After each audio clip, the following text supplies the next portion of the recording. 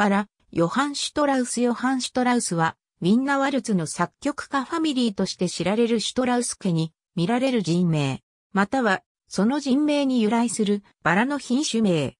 単に、ヨハン・シュトラウスとだけ書いた場合、通常は2世を指す。1世は、ヨハン・シュトラウス1世、または、ヨハン・シュトラウスとするのが通例である。3世はドイツ語圏では、インクルと呼ばれるが、日本では、ヨハン・シュトラウスなどとする表記は、ほとんど見られない。なお、三世の長男の名も、ヨハンであり、さらにその長男も、ヨハンである。また、一世の祖父の名は、ヨハン・ミハイルであり、叔父の名は、ヨハン・アダムであった。ヨハン・シュトラウス2世のデビューコンサート新聞告知。ヨハン・シュトラウスとの表記がある。ヨハン・シュトラウス3世のオペレッタ、猫とネズミ曲譜。ヨハン・ストラウス・ジュンとの表記がある。もともとは、ヨハン・シュトラウスといえば一世のことを指していた。他に、同姓同名の作曲家はおらず、呼び分ける必要がなかったためである。やがて1844年に2世がデビューを果たすと、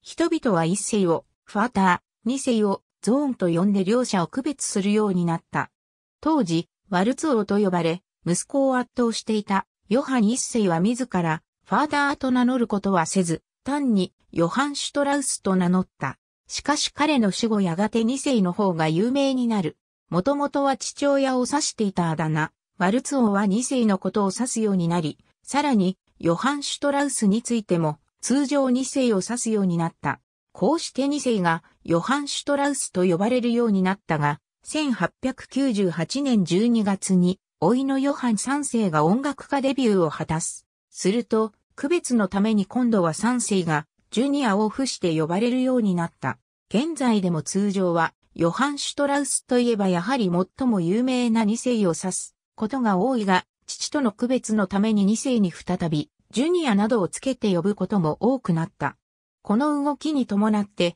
いつしか3世も、ジュニアではなく、エンクルと呼ばれるようになった。ありがとうございます。